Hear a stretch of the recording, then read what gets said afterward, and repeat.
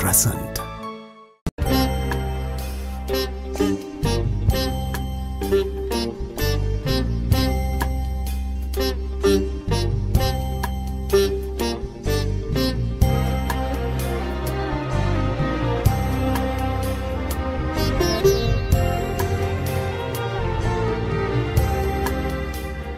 ලෝකයේ කොහෙ ගියත් අපිට අපේ කියලා කියන්න පුළුවන් එකම පැහැදිලි තනි වචනය.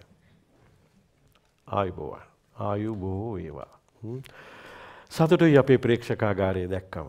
කාලෙකට පස්සේ අපි මෙහෙම පිරි ඉතිරී ගිය පිරිපුන් ප්‍රේක්ෂකාගාරයක් සමග ඔබත් සමග අද දවසේ අපි සිහිනය කිරෑ වැඩසටහන ගත කරන්න සූදානම් වෙන්නේ. හොඳයි අපි ඔබට මතක ඇති ගිය සතියේ අපි ප්‍රේක්ෂකාගාරයේ පළවෙනි වැඩසටහන අපි රසවින්දා. මේ එහි දෙවැනි වැඩසටහන ඒ නිසා මම ආරාධනා කරනවා ප්‍රේක්ෂකාගාරයේ සහභාගී වෙච්ච සහ එයත් එක්ක එකතු වෙච්ච සියලු දෙනාටත් ගිය සතිය අපිත් එක්ක එකතු වෙන්න බැරි වෙච්ච අයට අලුතෙන් එකතු වෙන අයටයි සියලු දෙනාටම ආරාධනා කරනවා ඒ රසාලිත් වැඩසටහනේ දෙවැනි අදියරත් එක්ක එකතු වෙන්න කියලා. අපි දැන් ඔහොම ඉස්සරහට යමු. අපි අද තීරණය කළා අපේ රටේ සිනමාවේ මහා දැවැන්ත සිනමා වංශ කතාවේ කාන්තාව නියෝජනය පිළිබඳව කතා කරන්න. එහිත් රංගනය නෙවෙයි ගැයුම සම්බන්ධව. එහෙම ගත්තම අද අපිට විශේෂිත චරිත හතරක් තියෙනවා. සුජා ආචාර්ය සුජාත අත්තනායකයන්, කලාශූරී ලතාවල් පළ, ඒ වගේම රුක්මනී දේවිය සහ අපි අතරින් වියෝ වෙච්ච ඇන්ජලින් ගුණතිලක මහත්මිය. සමාජ කාරණා ਵਿਚාරය සඳහා අපි අද ආරාධනා කළා. ලංකාවේ ධනාත්මක චින්තනය සහ මාර්ගෝපදේශකත්වය උපදේශන සේවා සම්බන්ධව සමාජය දැනුවත් කිරීමේ ක්‍රියාවලියේ ඉහළින්ම ඉන්න. මා මිත්‍ර දර්ශන ශාස්ත්‍රපති දර්ශන වර්ණසේකර මැතිතුමා. ඒ වගේම වෙනදා නැති කිසියම් වෙනසක් අපි අද කරලා තියෙනවා. ඒ තමයි සිනමාව ගැන කතා කරන නිසා, සිනමා ගීත තෝරාගත්ත නිසා මේ සිනමාව අතහැරලා අපිට ගීතේ පමණක් රස විඳින්න අමාරුයි. ඔබව දැනුවත් කරන්න ඉතා කෙටියෙන්. ඊටාම කෙටියෙන් චිත්‍රපටය චිත්‍රපටයේ නිෂ්පාදිත වර්ෂය චිත්‍රපටයේ අන්තර්ගතය පිළිබඳව සැකවින් ගැයුම සහ සංගීත අධ්‍යක්ෂණය ඒ සම්බන්ධ ඔහු දන්න ඉතා විශාල දැනුම් සම්භාරයක් තියෙනවා. අපි එවැනි ප්‍රාඥ්ඥයින් ප්‍රවීණයෙන් එවැනි පෙරගමන්කරුවන් අතහැරලා අපිට කවදාවත් ජීවිතේ ඉතර වෙන්න අමාරුයි. ඉති අපි ආරාධනා කලා ඔහු මාධ්‍යවේදියෙක් ඔහු සිනමාව පිළිබඳ විචාරකයෙක් සහ තොරතුරු එක් රැස් කරන පුස්තකාලයක්. ඉදිරියේදී ඔබට දැක බලා ගන්න පුළුවන්. අපි ආදරයෙන් පිළිගමු එතුමාව තිලක් වැලි කළ මැතිතුමා. ඒ වගේම ගායනය පැත්තෙන් ගත්තුත් අද රටේ ඉතාමත්ම ජනප්‍රිය කීර්තිමත් සුරූපී ගායිකාවක් ප්‍රධාන කොටගත් තවත් එවැනිම සිව් දෙනෙක් සමඟ අපි මේ ගමන යන්නේ නම් වශයෙන් කිව්වොත් අමිලා නදීශානි අපිට හැමදාමත් ආදරය කරන අපි ආදරය කරන චරිතයක්. අමිලත් එක්ක ගීතාංජනී නවමුණි ආරච්චි අනුරාධපුර දිස්ත්‍රික්කයේ නියෝජනය කරන්නේ. ඒ වගේම අපිට හම්බෙච්ච අති දක්ෂ සුරූපී ගායන ශිල්පිනියක් චමිලා තුෂාරි. සිරස නාලිකාවේ තරුණ දරුවන්ට දීපු අවස්ථාව වොයිස් වැඩසටහනේ ඉදිරියටම ආපු අක්කයි නංගී මලීෂා සහ නවීසා. අද අපේ සංගීත අධ්‍යක්ෂකවරයා ඔබ හොඳින් අඳුනනවා ඔහු දැන් ඉතා ජනප්‍රිය පුද්ගලයෙක් ලෝකයේ පුරාම හොඳ කීර්තිමත් සංගීතඥයෙක් සුසන්ත මදුරක් පෙරුම.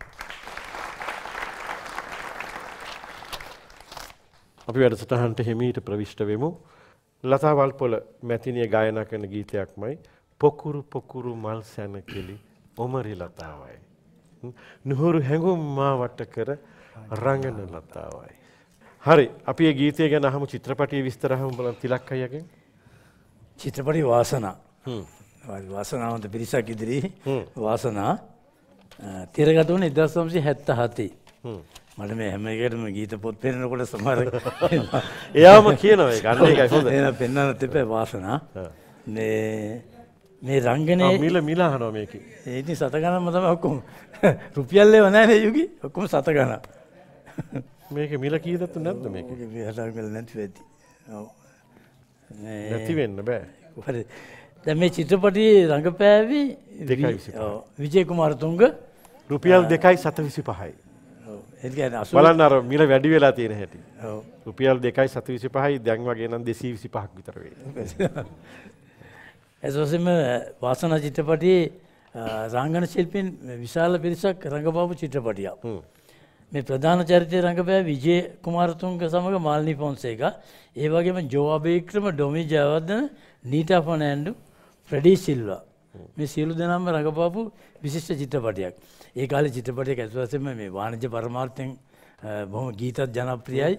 චිත්‍රපටල ආදයම් වාර්තාවත් ඒවගේ තිබුණ. අදවන්න මේ සිනමහල් අතුරු සිදුරනැතුව පිරෙනවා. අර බෝඩ්ඩයක් කෙල්ලනවා මේ මට මතකයන හවස් ෆුල් කියලා. එකන්න කිසිම සිට්ටයක් නෑ ටිකට් විකිල්ලා ඊළඟ ශෝයකටත් ඉන්න පොරකක මේ දැන් දහයනම් දෙකයිතියට ඉන්නවා.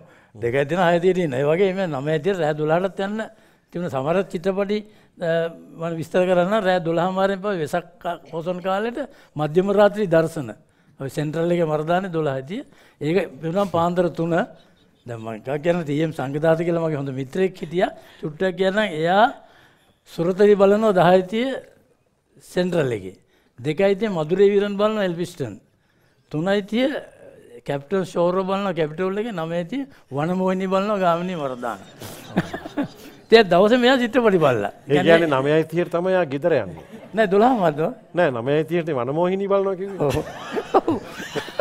යාම කියන ශිෂෝ අතරම් බැලුවකම සමරකට ති පුදුමයට පත්වන්න පුලන් ෙතර වැඩක් නැද මෙම සිනමාලේ මොකද ඒතරම් සිනමාට ආදර කරු මිනිස්සු.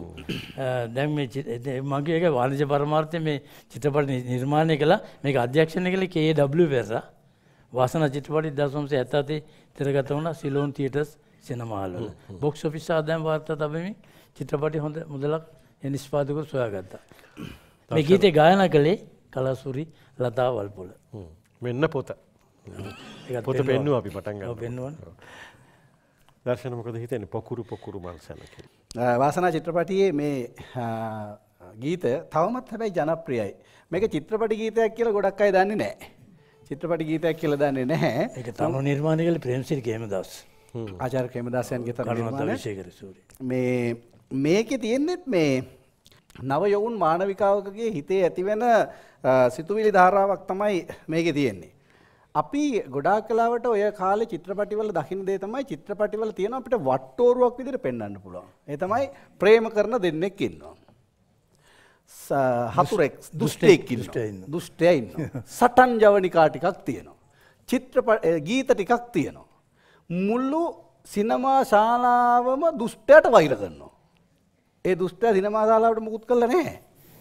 ඒත් අපි තරහයි. ඩොමි ජයවදනත්තකින් හැරි තරහයි කාලේ. එතකොට ජෝකර් කෙනෙක් ඉන්නවා.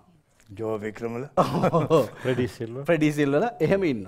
ඊට පස්සේ අර ප්‍රේම කරන දෙන්නාගේ ජයග්‍රාහි අවසානයම පතමින් අපි දින්නවා. ඒක අපේ ජයග්‍රහණයසේ විඳමින් අපි ගෙදර යනවා.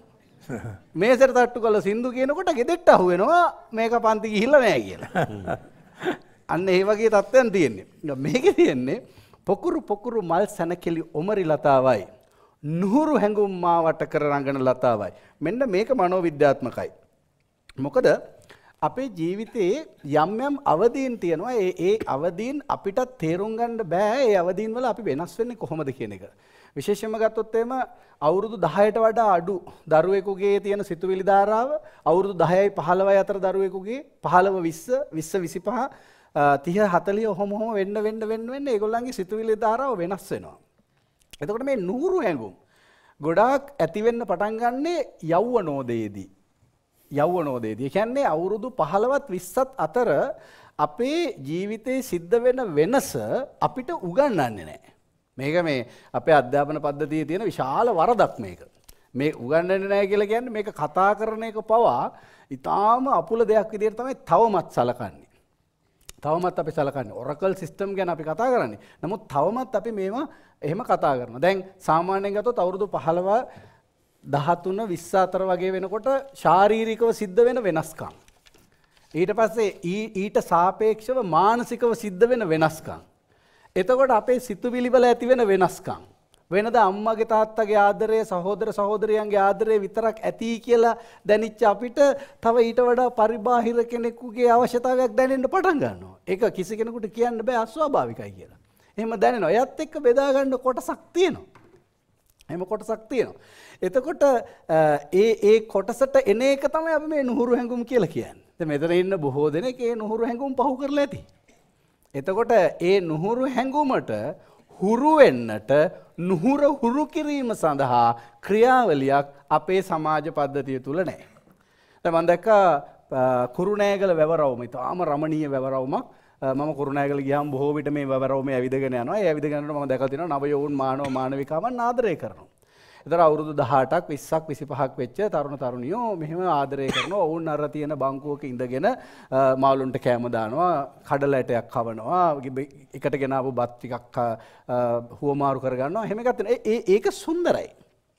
හැබැයි ඒකේ සුන්දරත්වය දකින්නට නම් ඒ වැඩිහිටි පරම්පරාව එම අවදියේදී එවැනි සාධනීය අත්දැකීමක් ලබා තිබිය යුතුයි. ඒක ලබා නොතිබොත් එයා හරි කුහක විදිහට ඒක දිහා බලනවා. එයාට හිතනවා මේක සමාජයට ප්‍රගමනීය ලක්ෂණයක් නෙමෙයි සමාජයට හානි වෙන ලක්ෂණයක් කියලා. ඉතින් මම ඕම ඔය වැව රවුම දිගේ ඇවිදගෙන එනකොට ඒකේ ඉහත්තාවට වෙන්න මාර්ගහක ගාලා තිබුණා මෙතන අශෝභන විදියට හැසිරුණොත් පාදඩ ආඥාපනත යටතේ නඩු පවරනවා කියලා. හරිද? ඉතින් මං කල්පනා කරා දැන් ප්‍රේම කරන එක පාදඩ වැඩක්ද කියන එක වෙනම අපි සාකච්ඡා කරන්නට ඕනි. නමුත් මම මේ කියන කාරණාව ඔබ මේ කොළඹ නගරයේ ආශ්‍රිතව ඉන්නව නම් ගලපන්න. ගලපන්න. විහාරමාදේවි උද්‍යානයේ වටේ අද තාප්පයක් නැහෙනේ. ඒක ප්‍රේම කරන යෞවන මානව මානවිකාවන් විසින් සමාජය අප්‍රසන්න කරන්නේ නැහැ. සමාජය කිලුටු කරන්නේ නැහැ. ඔවුන් සමාජය වර්ණවත් කරනවා. එතකොට ඉදිරි සමාජයකට යන්න යොවුන් වයේ ප්‍රේමය කොයිතරම් මානසික බලපෑමක් එල්ල කරනවද කියන එක පිළිබඳව තවමත් ලංකාව කතා කරන්නේ නැහැ. මම මගේ විෂය මනෝවිද්‍යාව නිසා මම මේ ගැඹුරින් මේක කතා කරන්නේ ආදරය දැන් මහේෂය හැම වෙලාවෙම කියනවා ඇස්වල කඳුළු තියෙන්න ඕන කියලා. මහේෂය හැම වෙලාවෙම කියනවා අනෙක් මිනිසාගේ කඳුළු දැනෙන්න ඕනි කියලා. එහෙම දැනෙන්නට නම් මෙන්න මේ කියන දේවල් අපි මේ පොළවේ රෝපණය කරන්නට අවශ්‍යයි. ඒ නිසා මේ ගීත කතන්දරය තුළ මං එහෙම කතාවක් දකිනවා. මේ මේ තරුණයට තියෙන අනුහුරු හැඟුම්. එයා අලුතෙන් සමාජයට එකතු වෙන්න හදන්නේ. එයා කියනවා අනේ මටත් ඉගිල්ලෙන්න කියා දෙන්නකෝ. අම්මයි තාත්තයි ගාව ඉඳලා තියෙන්නේ. බින්දු බින්දු පිනිමුතු වැල් මග සරසනවා. මට නොකියම හිමි හිමීට පියලි සලනවා. කුරුල්ලනේ රෑන් රෑන් කොහේ යන්නේද? දැන් එයත් එක්ක හිටපු සමහර අය එහෙම යනවානේ. උසස් අධ්‍යාපනයට යනවා වෙන්න පුළුවන්, නිදහස විඳිනවා වෙන්න පුළුවන්. එයාට තේරෙන්නේ නැහැ කියනවා. අනේ මටත් ඉගිල්ලෙන්න කියලා දෙන්න. එයාට සමාජයට යන්න ඕනි. මට මතකයි මට මතකයි පුංචි කාලේ මං රෑ හීනෙන් දේ දුන්නේ නැගී ගියවන්. තාම පුංචි ළමෙක්. තාම පුංචි ළමෙක් රත්නශ්‍රී විජේසිංහ ලියන්නේ ඒකනේ මගේ දුවේ නුඹව දියෙන්නම් මේ රැයේ මිහිරිම වෙලාවයි එහෙම හුරතල් වෙච්ච දරුවෙක් දැන් ලෝකේ දකින්න හදනවා ඒ පෙනිච්ච මිහිරි සිහින දැන් සැබෑ වුණා රිදී කාසි සැලෙන හඬින් හිත hina වුණා. මෙන්න මෙතන පොඩි ගැටලුවක් තියෙනවා. මං මහේෂ ඒක පොඩ්ඩක් කියන්න. ඒ තමයි දැන් මේ මේ මේක අර අමුම අමු මේ සාහිත්‍ය ਵਿਚාරයක් බවට පත් වෙනවා. රිදී කාසි සැලෙන හඬින් හිත hina වුණා. එතන පොඩි වරදක් තියෙනවානේ. හිත hina වෙනකොට සද්ද ඇහෙන්නේ රිදී කාසි සැලෙන හඬින් අපිට hina වෙන්න පුළුවන්. අපිට hina වෙන්න පුළුවන්. හිතින් එහෙම hina වෙන්න බෑ. එතන පොඩි දෙයක් තින අන්නේව අන්නේව හොයාගෙන ඒව විඳින එකට තමයි අපි කියන්නේ රසවින්දනය කියලා. වින්දනය කියල කියන්න එහෙම දෙයක් කියන්නේ සිරිපාදේ සමනල කන්ද පෙනේ. ආලෝකයේ සමන් කුලේ. ඒක වෙන්න බෑනේ සිරිපාදේ සමනල කන්ද කවදාවත් පේන්න බෑ. සමනල කන්දි තමයි සිරිපාදේ පේන්නේ. ඒ දෙක දෙපැත්තට මාරු වෙලා තියෙන්නේ. මෙන්න මේ විදියට මේ යොවුන් මානව මානවිකාවන් තුල ඇතිවෙන චිත්ත විපර්යාසය ගැඹුරින් කියවා ගන්නට තවමත් අපිට නොහැකි වුණාට මීට දශක තුන හතරකට කලින් ඒ පිළිබඳව කතා කරපු බවට මේ ගීතය අපිට සාක්ෂි සපය නොමයිශයි. පුපුරු පුපුරු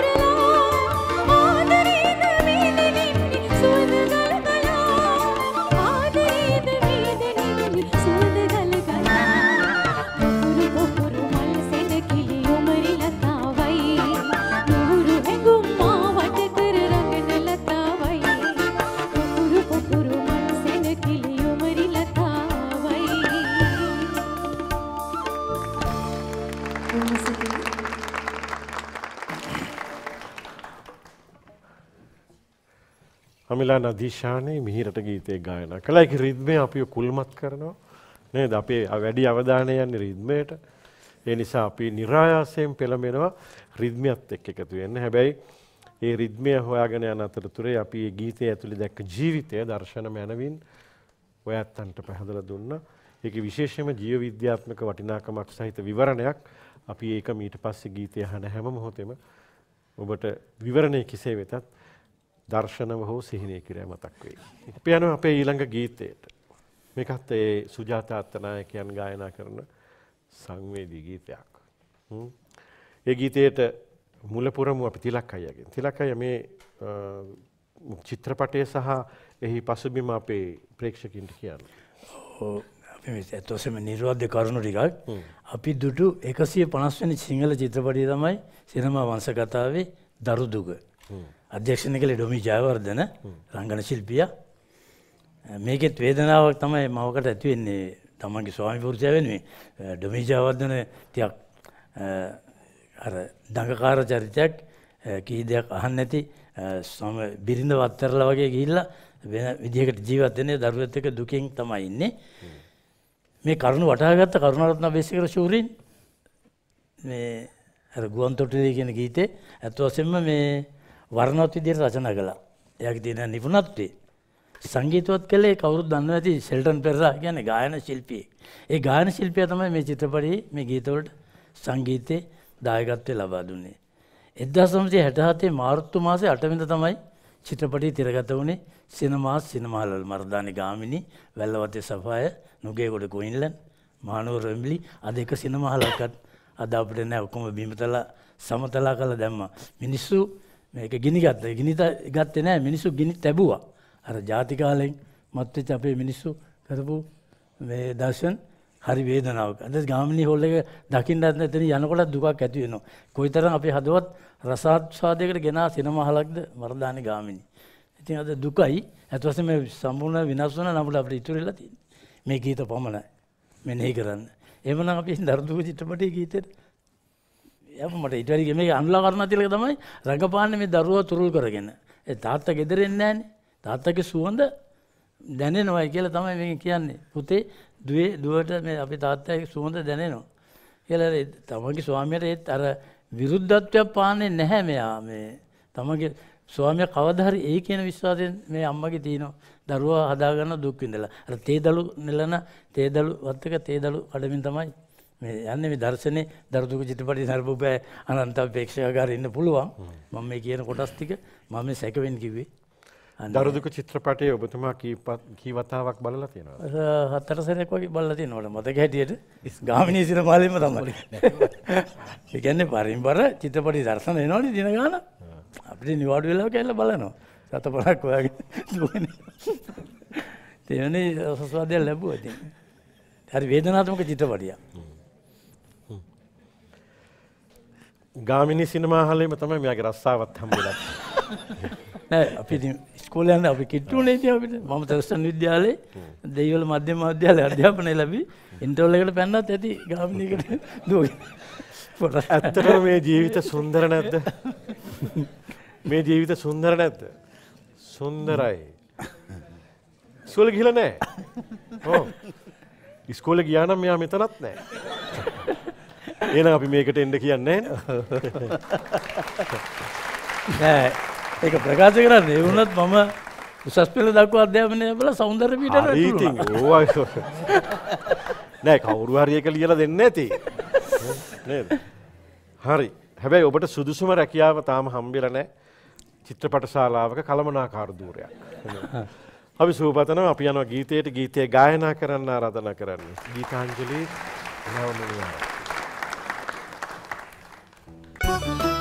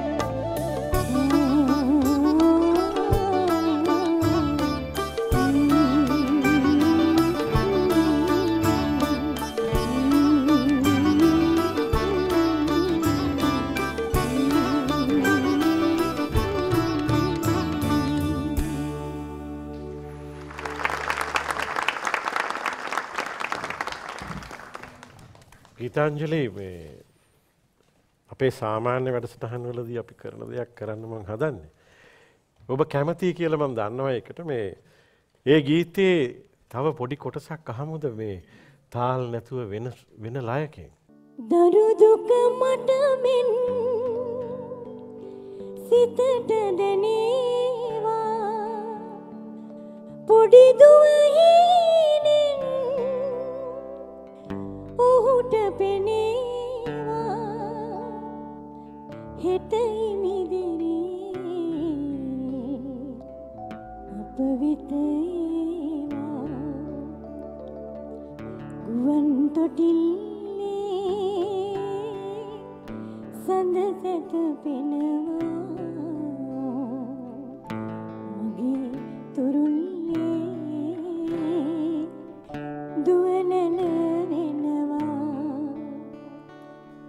සුලන් හමාලා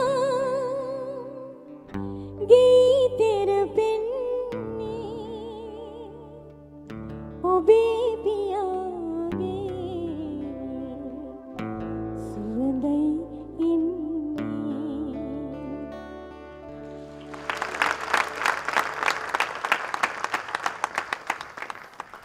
අ, අපේ ඊළඟ ගීතය. මේක ටිකක් අ, වේගේ අඩු රිද්මය වෙනස්. මෙතෙක් ඔබ හිටපු මානසිකත්වයෙන් එහාට අරන් යන ගීතයක්. ආචාර්ය සුජාත අත්තනායකයන් ලතාවල්පල ඒ වගේම ඇන්ජලින් ගුණතිලක සහ දැන් ඊට පස්සේ අපි යන්නේ රුක්මනී දේවිය දෙසට. ඇය ගායනා කරපු ඉතා මිහිරි ගීතයක් මේ ආදර පාන සුදා. හින්දි ගීතයක්. හින්දි තනුවක්. තනුවකට. ටෙක්සි ඩයිවර්ගෙන හින්දි චිත්‍රපටී තනුවට මේ චිත්‍රපටයේ විශේෂත්වයක් තියෙනවා. එදසන්සේ පනස් පහේ අප්‍රේල් මාසේ දාතරද සිංහල අවුරුදු උදාවත් සමඟ මේ චිත්‍රපටි තිරගත වුණේ. දැන්ට අවුරුදු හැට හතක් මේ චිත්‍රපටිය ඇත අතීතයකට යන ඉතාමත් පැරණි චිත්‍රපටියක්. ඒ යුගේ ඒ වගේ උත්සව අවස්ථාවල් අලල්ල තමයි චිත්‍රපටි අ, දර්ශන ආරම්භ කළේ. චිත්‍රපටයේ මතබේද මේ රුක්මණි දේවී. මේ පේ- බලන්න මේ පැරණි චිත්‍රපටි. ඉතාමත් මිහිරි දර්ශනයක් හොඳ තත්වෙන් තියෙන අදත් රුවැත්තියක් නේද. ගැන ගීත කෝකිලාවිය රංගන යාම රඟපාමින් රුක්මණි දේවීම ගායන කරනවා ඒ යුගයේ චිත්‍රපටි. ඉති මේ ප්‍රධාන චරිතය රුක්මණි දේවී රඟපාන්නේ සිින්දු ලිවේ ඒජේත සොයිසා සංගීතවත් කළේ අර්රේ චන්ද්‍රසේනයන්. ගැන ප්‍රතිභාපූර්ණ සංගීත අධ්‍යක්ෂකවරයෙක් Senadara Kuruppu BW Jayamanne Rukmani Devi Grace Jayamanne Mabel බ්ලයිට්ලවෙන් වැනි පිරිසක් මතබේදී චිත්‍රපටි රඟපෑවා. එද සම්සය ඇට පයි තිරගතුනේ දැන්ට අවුරුදු හැට හත්තකට ඉහත. සමට ඇද මේ චිත්‍රපටි කිසි කෙනෙක් ජීවතුන් අතර නෑ අපේ නරඹන්නොත් අද නෑ සමරකය මත අපේ පේක්ෂකාරය බලල බලන්න විදියක් නෑ මේක කෑල්ලක්කත් අද දකිින්ට නෑ අපිට මේ මත වේ චිත්‍රපටි. එමන අපි මේ ගීත රසවිඳමු ඉතාමත්ම ජනප්‍රී ගීතයක්.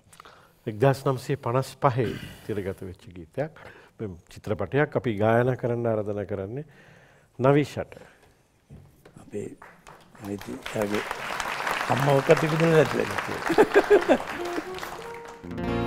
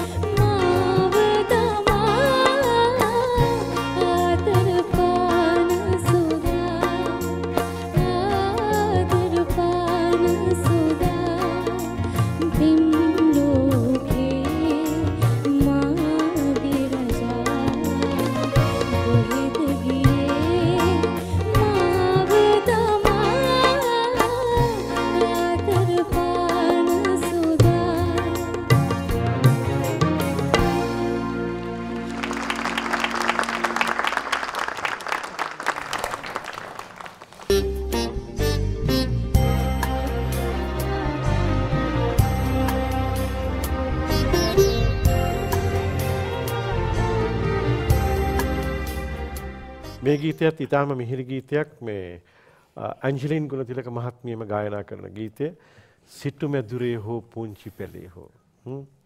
ඉතා මිහිරි ගීතයක් ඒ ගීතය ගායන කරන්නත් අමිලා. එනිසා අපි අදහස් කලා ඒ ගීතය සිනමාව පැත්තෙන් පටන්ගම කියලා. චිත්‍රපටි නිල්ල සොයා ගීත පොතු මේ මේ විශේෂත්වයක් තියෙනවා. දැන් මාලනී නීට යුගයේ තවත් ජනප්‍රිය නිලියක් කරලියටාව. මානෙල් වානගුරු. මානෙල් වානගුරු කියන අදත් ජිතුන් අතර ඉන්නවා ආනන්ද වික්‍රමගේ මාත් නෝන. එයාතම ප්‍රධාන චරිතය රඟපන්නේ ප්‍රවීණ රංගන ශිල්පි ගාමිණි පොන්සේක තමක මේ ගාමිණි ගාමිණී මානෙල් වානගුරුතා මේ පින්තුර ඉන්නේ. මේකට තව විශේෂත්වය තියෙනවද ඔය ගීත ලෝකයට අවතීරණ විච්ච තව ගායන ශිල්පියෙක් තමයි අපි කවුරුත් දන්නවා. අර කවුරුත් කියන්නේ පෙම් ගීත විජිතේ උණුසුම් කළ යුගයක් ආවා. මිල්ටන් මල්ලවාරච්චි තමයි මේ චිත්‍රපටි මේ වර්ණවත් කරේ ගීත වලින් චිත්‍රපටි ඉතාමත්ම ජනප්‍රියයි. මේ සරත් දසනායක තමයි සංගීතවත් කළේ. සියලුම ගීත ස්වතන්ත්‍ර තනු වශයෙන් මේ ප්‍රසිද්ධයටපත් වුණා. ගාමිණි ෆොන්සේකා රඟපාන නිසා ඇත්ත වශයෙන්ම ඒක සටන් ජවනිකා දුෂ්ටේකර සදර්ශන කිව්වා වගේ පෙම් ජවනිකා දුෂ්ට ජ ඒ චරිත විකට ජවනිකා වලින් ගැබ් වෙච්ච චිත්‍රපටිය තමයි නිලසොය. දර්ශන ඔය ඇතරම මේ මේ ගීතේත් සිටු මැදුරේ හෝ පුංචි පැලහෝ කියන ගීතේ දැන් අර අපිට පේනවා දැන් ස්වතන්ත්‍ර නිර්මාණවලට එනවනේ ස්වතන්ත්‍ර නිර්මාණවලට එනකොට ඒ ගීතයේ පදමාලාවන් විග්‍රහ කරන්න පුළුවන් හැකියාවුන් එනවා. දැන් මුල් මුලින් අපි මේ වැඩසටහනදී ගත්ත ගීතවල ඒ හැකියාව තිබුණේ නැහැ. ඒ මොකද හින්දි තනු තිබුණේ. නමුත් දැන් ස්වතන්ත්‍ර නිර්මාණ වලට එනවා. දැන් ඔය කේමදාස මාස්ටර් එහෙම මේ වෙනකොට සක්‍රීය විදියට මේ කර්මාන්තයට දායක වෙලා තියෙන්නේ. එතකොට දැන් අපිට මේක මේ මේ මේ පදමාලාවන් වල නැත්නම් සමාජගත කරන්න හදන පණිවිඩය ගැන එහෙම කතා කරන්න පුළුවන් හැකියාව වෙනවා. මේවා ඉතින් ඕනෑම විශේෂක ස්වභාවයන් තමයි. දැන් අපි සිත ගැන කතා කරනකොට දැන් අපි ප්‍රධාන කොටස් දෙකක් කතා කරනවානේ උඩුසිත සහ යටිසිත කියලා. කතා කරනකොට තව එකක් අපි කතා කරනවා ඒක බහුලව සාකච්ඡා වෙන්නේ භවාංග සිත කියලා. දැන් බෞද්ධ මනෝවිද්‍යාවේදී එහෙම අපි ගොඩාක් ඔය භවාංග සිත ගැන කතා කරනවා. දැන් භවාංග සිත කියලා කියන්නේ බෞද්ධ දර්ශනය අනුව අපි ගත්තාම අපි දීර්ඝ ගමනක් නෙවෙයි යන්නේ.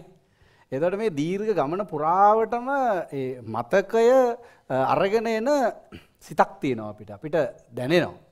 එතකොට සමහර අය මේ ඔබට දැකලා දැනිලා ඇති මේ කොහේදී හරි දැකලා තියෙනවා. අපි හම්බ වෙලා තියෙනවා. කොහේද කියලා දන්නේ නැහැ. නිකන් හුරු බවක් දැනෙනවා. එහෙම එකක් තියෙනවා. එතකොට මේ සිතේ ස්වභාවය තමයි මේ තියෙන්නේ. දැන් මේ ගීතේත් ඒක ඒ විදිහටම තියෙනවා. දැන් මේ ගීතේ පද රචනය පිළිබඳව මට අවබෝධයක් නැහැ. තිලක් අයට මතකද කවුද මේක පද රචනය කළේ කියලා? කවුද? සෝම්පල් රත්නායක. සංගීතේ සෝම්පල් සෝම්පල් රත්නායක. ගීත රචනා කරේ. නෑ මෙයා සෝම්පල් ලීලානන්ද. සෝම්පල් ලීලානන්ද. එතකොට දැන් සෝමපාල ලීලානන්ද මහත්මයා මේක රචනා කරන්න ඇත්තේ මම මේ කියන මනෝවිද්‍යාත්මක පරිසරයේ ඉඳ තුල ඉඳගෙන නෙවෙයි. ඒ නමුත් ඒක ගලපන්න පුළුවන්.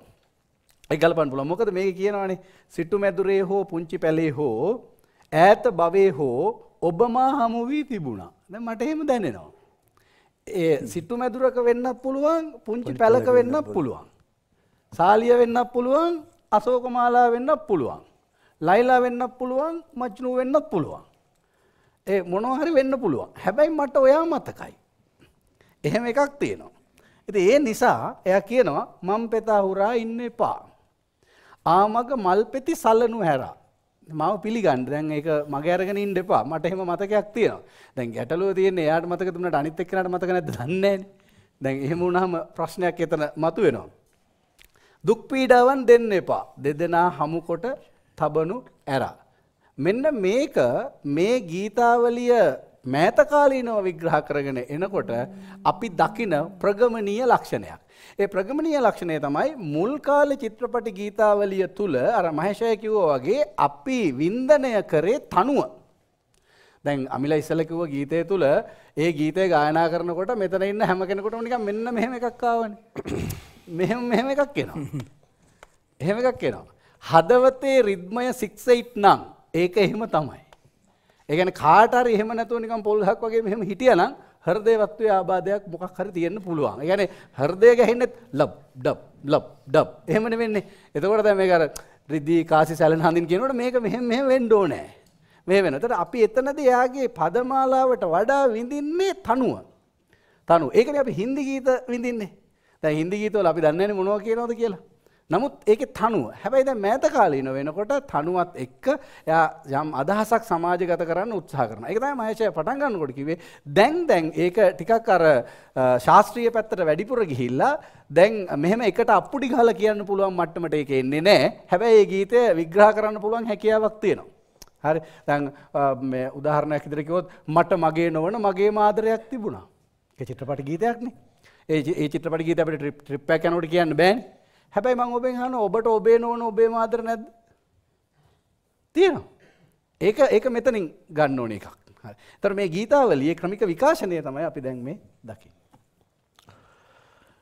ශාස්ත්‍රීය පසුබිමක් ඇතුලේ තිබුණ සාහිත්‍ය කාරණා තිබුණ ඒ වගේම අධ්‍යාපනික වටිනාකමක් තියෙන තොරතුරු තිබුණ හැඟවුණු ආදරයක් ගැනත් කියවුණා නේද? එයා අහපු ප්‍රශ්නේ මම ඔයගොල්ලන්ගෙන් අහලා ගීතයට යනවා. ඇත්තටම අපිට අපේ නොවන ආදරයක් නැද්ද? නැද්ද? නිහඬ බව කියන්නේ මහේෂය හරි කපටි උත්තරයක්. ඒක තමයි. නෑ මට ඇත්තටම කියන්න මම නම් කරන්නේ ඔබට ඔබේ නොවන ආදරයක් නැද්ද? ඊළඟ සින්දුවට යන්නේ උත්තරයක් දෙනකම්. හා? කෝ තියෙනවා. තියෙනවා. හැබැයි ඒක මෙහෙමයි වෙන වෙන තර්කානුකූල උත්තරවලට සූදානමින් දෙන්න එපා මේ උත්තරේ. දැන් මට මගේ නොවන ආදරයක් මෙයාලඟ තියෙන්න පුළුවන්. එහෙම නෙවෙයි. මට හිමි කරගන්න බැරි ඒත් මගේ හිතෙන් ඈත් කරගන්න බැරි මගේම මගේ ආදරයක් නැද්ද? තියෙනවා. බෑ. ඔයාට? ඒක හරි. යා එයාගේ පුත්තරේ ඔබතුමියට? උත්තර නෑ. සාපේක්ෂ උත්තරයක් හැටියට ගත්තොත් එහෙම මේ ඒවා විවිධ විවිධ අරමුණු සහ අත්පත් කර ගැනීම සඳහා නෙවෙයි. හැබැයි අපි හැමෝටම අතහැරිච්ච දෙයක් තියෙනවා. අපි තාම ඒක හොයනවා. හම්බෙසි දවසට කියන්න අපි යමු ගීතයට මෙන්න ගායනයට අමිලා හිතෙන්නේ.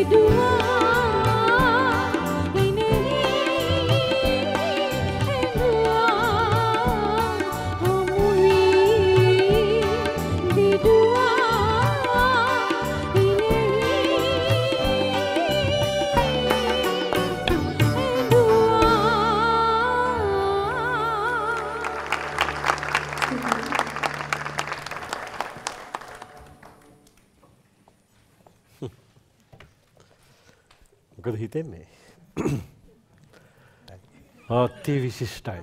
අත්තේ විශිෂ්ටයි.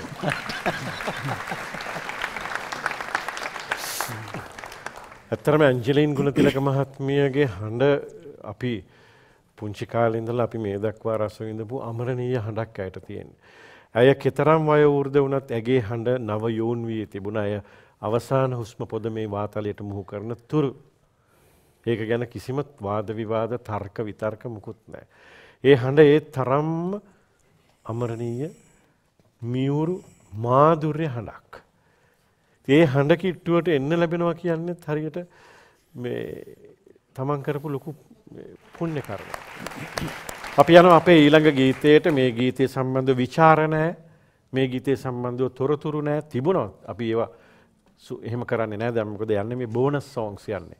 ප්‍රසාද ගීත ඒ නිසා කාලය වේගෙන් ඉගිල යනවා මේක ගැන ඔබේ හිතේ තියෙන අදහස් ඔබ උද්දීපනය කරගෙන ඔබ විඳින්න අපි කිසිම දෙයක් ඔබට ආරෝපණය කරන්නේ නෑ. ඒ ඔබේ නිදහස ඔබේ අයිතිය එක ගීතයක් එහෙමත් තියෙන්න ඕන නිසා අපි මේ ගීතය ඔබට බාර දෙනවා. මුකුත් කියන්නේ ඇවිල්ල ගීතය කියයි ඔබ හඳුනගන්නට.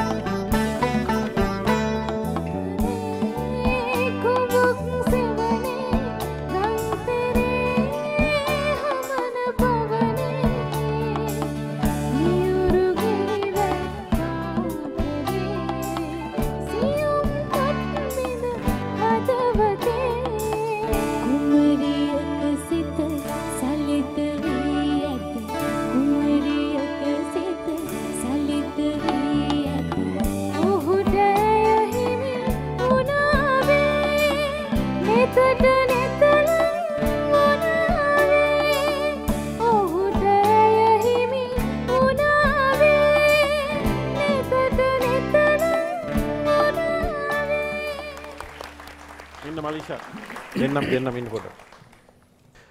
තාත්තා ගැන මොකද හිතෙන්නේ? ඉක්මනට කියන්න ඕනේ. තාත්තා නැති දවසක් හිතාගන්න බෑ. ආ අද වෙනකන් එයා ඉතින් අපිත් එක්ක පිටිපස්සෙන් හිටියා. මං හිතන්නේ අපි මෙහෙම අද පර්ෆෝම් කළා නම් එයා හින්දා. අම්මා ගැන කියන්න නැතුව ගියොත් ඒක හොඳ නෑ. නේද? අම්මා කොහොමද ඔයාලට දක්වන සහයෝගය එහෙම? අම්මා තාත්තා අක්කා නංගි තමයි මගේ ජීවිතේ. ඇත්තටම මේ හතර දෙනානේ තියෙ- ජීවිතයක් ගැන හිතන්න බෑ. වෙන කෙනෙකුට එන්නම් බැරිද ජීවිතේට? ඒ ආදරේ ලැබෙන්නේ. ඒ හතර දෙනාගෙන් ලැබෙන ආදරේ මං හිතන්නේ වෙන කාගෙන්වත් ලැබෙයි කියලා. ඒක වෙනස්නේ. කොහොමද වෙනස් කියලා දන්නේ? වෙනස් කියලා දන්නේ කොහොමද? අම්මගේ තාත්තගේ සහෝදරයන්ගේ තියෙන ආදරේ සමාන කරන්න බෑ. ඒක ඊට වැඩිය හොඳයිනේ. නෑ පුතා හොඳයි. ඕගලන් ජීවිතය යහපතක්ම වේවා කියලා අපි ප්‍රාර්ථනා කරනවා. කලක් තිස්සේ එචාර් ජෝතිපාලයන් සමග ඇන්ජලින් ගුණතිලකයන් ගායනා කරන ගීතය ඒ ගැන අපි සිනමාත්මක පසුබිම ගැන යම්තන් කතා කරලා ගීතයට යමු. තිලකයි මේ කොයි කාලෙද මොකක්ද චිත්‍රපටය මේ චිත්‍රපටි තුසාරා මේ ගීත පොත තියෙනවා මෙතන. තුෂාරා මාලි පොන්සේක ඉන්නේ. කො දෙන්න බලන්න. තුෂාර 1973 මේ චිත්‍රපටි තිරගත වුණේ. ශ්‍රී ලංකාවේ සිනමා වංශකතාවේ අතර අපි ආදරෙන් අමන මතක් කරන මේ බොක්ස් ඔෆිස් ආදායම් වාර්තාවල ලැබුවේ කියලා. ඒතර යසපාලිත නානකාර අධ්‍යක්ෂණය කරපු මේ චිත්‍රපටිය දින 150ක් නොකඩවා මර්දාන එල්ෆිස්ටන් සිනමාලේ තිරගත වුණා. අද චිත්‍රපටය තිරගත වෙයි දන්නේ නොකඩවා දින 150ක්. දැන් තවත් දෙකෙන් තුනෙන් ගලවලා දානවා. නමුත් මේ චිත්‍රපටයේ ගීත හින්දි තනුවාස්තයෙන් ඉතාමත් ප්‍රබලයි. අ, සංගීතවත් කළේ පීඑල්ඒ සෝමපාල ගීතය රචනා කළේ නී- නිහාල්ලේ ජයසිංහ. ගීත එදා ගායනා කළේ එච්.ආර්. ජෝතිපාල සමග ඇන්ජලින් ගුණතිලක දර්ශනය පෙනී හිටියේ විජය කුමාරතුංග සමග මාල්නී පොන්සේකා. ඇත වශයෙන්ම උන් සියලු දෙනාටම උපහාරයක් වෙන්න ඕනේ මොකද ජෝතිපාලත් ඇන්ජලින් මහත්මියත් පීඑල්ඒ සෝමපාලත් නිහාල්ලේ ජයසිංහත් ජීවතුන් අතර නැහැ. සියලු දෙනාටම උපහාරයක් වේවා කියලා මං කියන මොකද මේ ගීත ඇතහ මේ කලක් තිස්සේ ගීතේ චිත්‍රපටයේ කොටස් දෙකකට යනවා.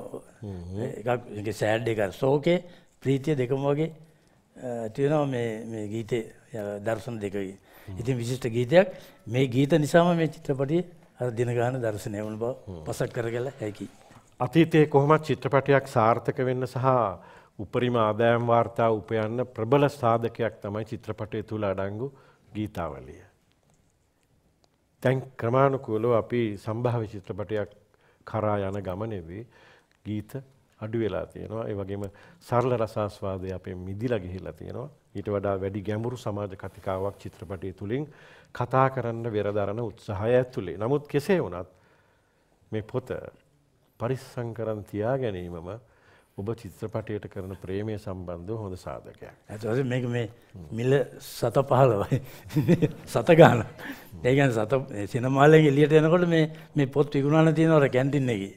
චිත්‍රපටිය බලලා ගීත පොතකු තරගන්න ඒ කාලේ තරුණ අපේ තරුණයේදී මේ ඉතින් කටපාඩම්. ඉතින් මේ සි- මේක කියලා වෙන අපි දැන් මම උදාහරණයක් ගත්තොත් මේ චිත්‍රපටය මම 10 තිය එල්විස්ටන් එකේ බලලා 2 තිය රොක්ෂි එකේ බැලුවා ගැන විශේෂත් ඒ කියන්නේ ගෙදර එනකොට හොඳටම කුටිත් කෑවා ඉස්- ඉස්කෝල් කට් කළා මේ ගැහුවේ- පොට්ටිකත් ඉදේ ගැහුවේ නැත්තම් තමයි ප්‍රශ්නේ. ඉතින් උදේ ගිය ළමයා ඉස්කෝලේ ගිය ළමයා එන්නේ නැන්ද පාට ඉතින් පන්ති ගිහිල්ලත් නෙමෙයි. ඉස්කෝලේ ගියාද ඇත්තටම? ගියේ නෑ 10 තිය දෙකයි 10යි 30යි 2යි 30යි බලන්න. ඉස්කෝලේ ගුරුවරු වෙන්න ඕනේ සිනමා ශාලාවට. මේගොල්ලන්ට උගන්වන්න. එවැනි මේ ආසාවල් ඇති වුණා. ඉතින් ඒක ඒක මතක සටහන් ඇති වුණා. ඉතින් මේ ඒ කාලේ චිත්‍රපටි ගැන ඇත්තම විශිෂ්ටත්වයක් තියෙනවා. නොසෙල්වි දැන් මේ ගීතයක් යනකොට සිනමාල ඒ ඒ කාලෝක වෙනවා. මොකද ගැලරි අපි බලන්නේ සත 50යි ගැලරිය සත 50නේ. ඉතින් රුපියල කම්මලා ගෙදරින් දුන්නාම ඇති සත 50 චිත්‍රපටිය බලන්නත් මේ ඔය තෝස දෙකක් කාලා සත් 10යි සත 20 ඔය රුපියලෙන් ඉතුරුත් වෙනවා. තත්ත්වයක් තිබුණා දතිනවා. ඉතාමත්ම සතුට ඒවා හරි රසබර තොරතුරු අපේ යුගේ අපිට අත්විඳින්න හම්බෙච්ච නැති තොරතුරු. ඉතින් මං හිතනවා දැන් මේ පොත මෙච්චර පරිස්සම් වුණාට පුළුවන් නම් මට 7000 කාසියක් හොයලා දෙන්නකෝ. ඉතා දුෂ්කර වැඩක්. ඉතින් ඔයා ආසයි මේ ගීතය අහන්න? ආසයි. අපි යලිත් ආරාධනා කරනවා අපේ ඈ? ඔව් මමමයි. ප්‍රවීණ ගායන ශිල්පිනේ අමිලා නදීෂානි.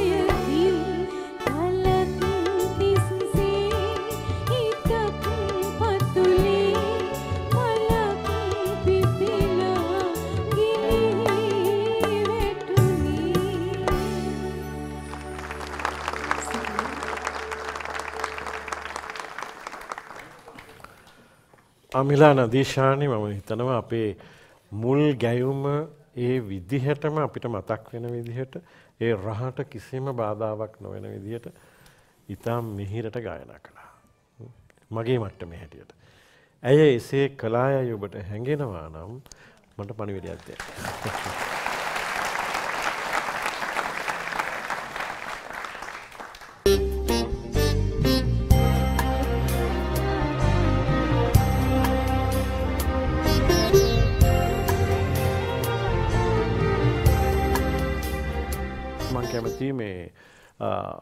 සුපුරුදු විදිහට ප්‍රේක්ෂකාගාරය දවසට එක එක්කෙනා විවිධ තිලින ගේනවා. පොත් සහ කවි නිර්මාණ පින්තූර ඒවා. ඒ නිසා ඒ අය හිස් අතින් අරින්න බෑ. එහෙම එනවනම් ඉක්මනින් ඇවිත් ඒවා දෙන්න කියලා ආරාධනා කරනවා. මේ මොකද්ද?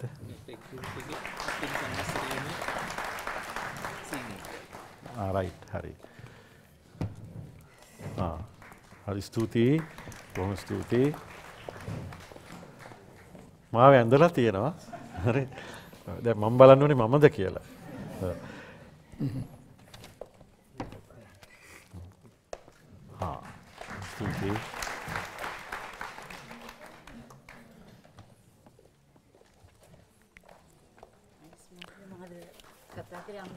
ආ හරි හරි හරි. හරි හරි බොහොම ස්තුතියි ලැබුණා හරි ස්තුතියි ඔබතුමියට හරි හරි විවිධ දේවල් තියෙනවා. ඉතින් එක එක මම විශ්- වෙන වෙන වශයෙන් කියන්නේ ඔක්කොම මම ආදරෙන් බාරගත්තා. දොයි දොයි දොයි දොයිය පුතා. කලාශූරී ලතා වල්පොල මැතිනිය ගායනා කරන ගීතයක් අ, තිලක් අය කතා කරන්න ඊට පස්සේ දර්ශන. ඔව්. අපි දැන් මුලිනුත් කතා කළා නෙවෙයි මාතලන් චිත්‍රපටි මාතලන් චිත්‍රපටි සින්දු පොත පෙන්වුවා අපි විස්තර කළා. මේ ඊටමත්ම ජනප්‍රිය ගීත සියලුම ගීත ස්වතන්ත්‍ර තනු තමයි එක ගීතයි දිනේ දිනේ සෞස්ත්‍රීනි කියලා ගීතයක් තිබුණා. ඒක විතරයි. ගොරේ ගොරේ බාතේ කියලා හින්දි ගීතයක් අනුව තිබුණා. අනිත් ගීත නමේම ආර්. මුතුස්වාමිගේ ස්වතන්ත්‍ර තනු බවට පත් වුණා. මේ ගීත රචනා කළෙත් W. බෙනඩික් පනඩුවේ W. බෙනඩික් පනඩුව අපේ ප්‍රේෂ්කාගාරයේ ඇත්වස මේ ලැබුණුත් මෙන්න මේ ගීත රචකය. හොඳට බලාගන්න. බෙනඩික් පනන්ඩු. සියලුම ගීත මාතලන් චිත්‍රපටය රචනා කළේ මෙතුමා. දර්ශනය පෙනීටිය කලරිස්ද සිල්වා. කලරිද සිල්ලා. ඇත්තරම ලස්සන කාන්තාවක් එයා තමයි ළමය නලවන්නර මාතලම් පුංචි කාලේ ලැබුණාම හොරෙන් තමයි කොහමරි රජගෙදරින් උම උමගයක් හදාගෙන ගිහිල්ල තමයි දරුව හදාගන්නේ ඒ දරුව නලවන ගීතය තමයි තියන්නේ රචන කළේ කිව බෙනඩික් පොනැන්ඩු සංගීතවත් කළ ආර මුතුස්වාමි ස්වතන්ත්‍ර තනුවක් එමිහිදි ගීතයක්. මාතලන් චිත්‍රපටි සියලුම ගීත අභිබව යනවා මේ දරුණ ලෙවිල් ගීතයට. දර්ශන? මශය ඇතරම මේ මේ ගීතයත් අම්ම කෙනෙක් තමුන්ගේ දරුවා පිළිබඳව ඇතිවෙන ධාරක සෙනහස මත ඒ දරුවව නලවන ආකාරය තමයි මේ ගීතය විග්‍රහ කරන්න. හැබැයි මම අද මේ ගීතය විග්‍රහ කරන්නේ අම්මගේ කෝණේ ඉඳලා නෙවෙයි. අපි කිසිවිටකත් මේ ප්‍රේක්ෂාගාරය සැලසුම් සහගතව සකස් කරනවා නෙමෙයි. නමුත් දෛවෝපගත විදියට මේ ප්‍රේක්ෂාගාරයේ තාත්තලා කීප දෙනෙක් කතා කරා. ඒ වගේම තාත්තා ගැන දුවෙක් කතා කළා. ආ, ඒ නිසා මට මේ සම්බන්ධයෙන් තියෙන අත්දැකීම තියෙන්නේ අම්මා ගැන නෙමෙයි. ඒ තමයි තාත්තලත් මේ විදියට දරුවන්ව නලවනවා. මේ විදියට තාත්තලා දරුවන්ව නලවන ආකාරය මම අහපු මිහිරිම ස්වරය තියෙන්නේ අ, සිසිර සේනාරත්නට. ඔබ අහලා ඇති මේ ගීතය ආලෝකෙ පතුරා මුළු ලෝකෙ ඔපලා චන්ද්‍රා හෙමින් එයි නැගී කියලා. මේ ගීතය අහනකොට මම කැමති මහේෂය පොඩ්ඩක් ඒ ගීතය අහන්න පුළුවන් නම් අපිට. කව් කියන්න මහේෂය කියන්නේ. ඈ? ආලෝකේ පතුරා මුළු ලෝකේ උපලා චන්ද්‍රා මෙමින් එනගී රසසීනලා රසසීන පෙනිලා මගේ මැනික සුවසේනිදී කෝලන්ගේ මදුගීත සුවඳින් ගෙනාසේත සුවදායකයි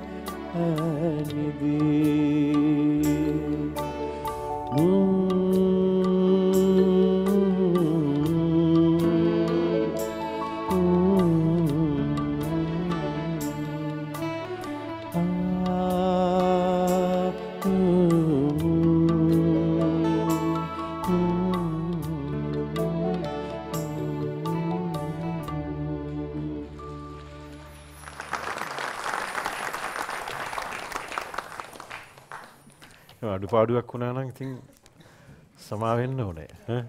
හඳ පාන? හඳ පාන චිත්‍රපටි. හඳ පාන මෙතන ඉන්න ඒ කතා කරපු තාත්තල දෙන්න තාත්ත ගැන කතා කරපු දුවත් මේ මං කියන කතාවට ලුණු ඇඹුල් එකතු කරන්න. මීට අවුරුදු විසි හතරකට විසි හයකට විතර ප්‍රථම මගේ බද්‍ර යව්වනය ගෙවෙන කාලේ එතකොට අපිට ජීවිතය හොඳ නරක හොයාගන්න බැරි කාලේ ආ, ජීවිතයේ යව්ව නෝදයට එනකොට අපි ආ, ජීවිතය අත්හදා බලන කාලේ ඉතාම අමාරු කාලේ දැන් නෙමේ ජීවිතය අමාරු කාලේ ඒ කාලේ තමයි ජීවිතය හරි අමාරු කාලේ අපි කියනවා ට්‍රැක් එකකට වැටෙන්න හරි අමාරුයි ඒ කාලේ. ඉතින් ඔය කාලේ ගත වෙන මම මේ කතා කරන්නේ 1993 94 95 වගේ කාලවකවානු ගැන. ඔය කාලේ වෙනකොට ලංකාවට ආවා මේ මුද්‍රිත කාම ප්‍රකාශන ලංකාවට ආවා. ඇවිල්ලා අපි තමයි ඒවට මුලින්ම ගොදුරු වෙච්ච තරුණ පරම්පරාව බවට පත් වනේ. එතකොට අපේ වයස අවුරුදු 18ක් 19ක් 20ක් විතර වගේ ඇති. පා ටියවෂන් ක්ලාස් එකට දෙන්න සල්ලි ටියවෂන් ක්ලාස් එකට දෙන්නේ නැතුව අපි කරේ මේ වගේ දේවල් මිලට ගත්ත එක. අපි අද වැඩිහිටියන් විදිහට අපේ අපේ දරු පරම්පරාව ආරක්ෂා කරගන්නේ කොහොමද කියන එක පවා ඉගෙන ගත්තේ මේ දේවල් වලින්. එතකොට මගේ පාසැලේ පිරිමි ළමයි මේ විදියට එකතු කරගත්ත කාම ප්‍රකාශන මිටියක් මෙහෙම තිබුණ අපේ පන්තියේ. මෙවා තියාගන්න තැනක් තිබුණේ නැහැ. ඒ නිසා අපි මොකද කරන්නේ එක එක දවසට එක එක කෙනාට දෙනවා ගෙදර ගෙනිහිල්ලා පහුවදාට අරන් එන්න කියලා. මේ විදියට මගේ වාරෙත් ආවා. මම දැන් මේක ගෙදර ගෙනිච්චා. ගෙදර ගෙනිහිල්ලා මට මේක තියාගන්න තියෙන සුරක්ෂිතම ස්ථානය. මම මේක තිබ්බා මගේ ඇඳේ මෙට්ටේ අස්සේ. හෙට උදේ ඉස්කෝලේ යනකොට අරන් යන්න. මම පාසල් යනකොට පන්තිකාමරයට වඩා මම හිටියේ ක්‍රීඩා පිටියේ. මම ශිෂ්‍ය බටයෙක් මම බාලදක්ෂයෙක් අ, මේ ආදී විවිධ විෂය බාහිර ක්‍රියාකාරකම්වල මම හිටියේ. මම ඉගෙන ගත්තේ පැල්මඩුල්ල මධ්‍ය මහා විද්‍යාලයේ. උදේ පාන්දර නැකිටලා පාන්දර හයට විතර මම ශිෂ්‍ය බට පුහුණුව සඳහා ගෙදරින් ගියා මට අර ටික අරගෙන යන්න බැරි වුණා. අර මෙට්ටේ ඇස්සේ දාලා ගිය ටික අරගෙන යන්න බැරි වුණා. හවස තුනට පහ හතරට විතර වගේ සියලුම පුහුණු වැඩ ඉවර වෙලා මම දැන් ගෙදර එනවා. ගෙදර එනකොට මම දන්නවා කවුරුත් මගේ කාමරයට යන්නේ නැහැ. ඔක කිසි ප්‍රශ්නයක් වෙන්නේ නැහැ. ඔහොම ගෙදර එනකොට මම අපේ ගේ තියෙන්නේ ප්‍රධාන පාරේ ඉඳලා ටිකක් පල්ලමට යනකොට ඉස්සෙල්ලම පේන්නේ වහලේ. මම ප්‍රධාන පාරෙන් මගේ ගෙදරට හැරෙන පාරට ඇතුල් වෙනකොට මම දැක්කා මගේ මෙට්ටේ අවුවට දාලා තියෙනවා. එතකොට මගේ වයස අවුරුදු 17ක් ආසන් වශයෙන් 18ක් ඇති ඒ ලෙවල් සෙකන්ඩ් ඉයර් එකේ මට ඒ වෙලාවේ මේක හොඳට මේ තාත්තලා අහගන්න මේක මට ඒ වෙලාවේ ගන්න තිබුණේ මගේ ජීවිතය ගැන තීන්දුවක් ගන්න විනාඩි කිහිපයක් ඉතුරු වෙලා තිබුණේ මං හොඳටම දන්නවා දැන් මගේ තාත්තා අද වැඩට ගිහිල්ලා නැහැ කියලා. එයා රජයේ පරිපාලන නිලධාරියෙක් මගේ අම්මා විදුහල්පතිනියක් අම්මා ගෙදර හිටියත් ඔය මෙට්ටේ අවුවට දාන්න යන්නේ නැහැ. මොකද අම්මට ඒක උස්සලා එහෙම වහලයක් පුට්ට දාන්න පුළුවන් කමක් නැහැ. එහෙනම් අනිවාර්යයෙන්ම මගේ තාත්තා ගෙදර ඉන්නවාද?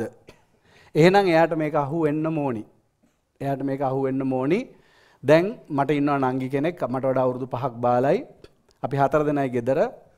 මට මගේ ජීවිතය සම්බන්ධයෙන් තීන්දුවක් ගන්න ඕනි. එකක් තමයි මට ලැජ්ජයි. මේකේ තිබුණේ තාම දරුණු ඡායාරූප.